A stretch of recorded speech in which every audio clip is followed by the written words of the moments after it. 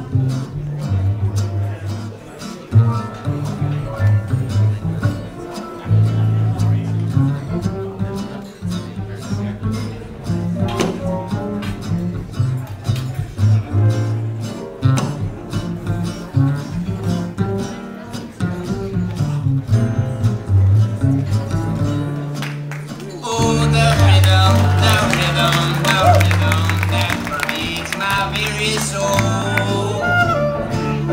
Oh, the rhythm, the rhythm, the rhythm that makes me lose all control.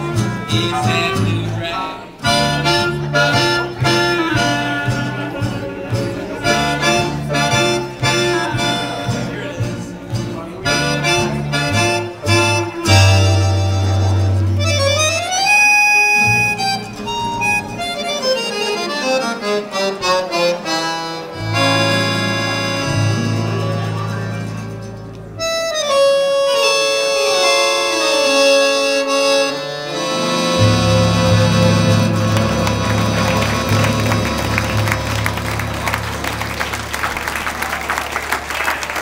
Conley, folks. That's a blue drag. Oh, sorry.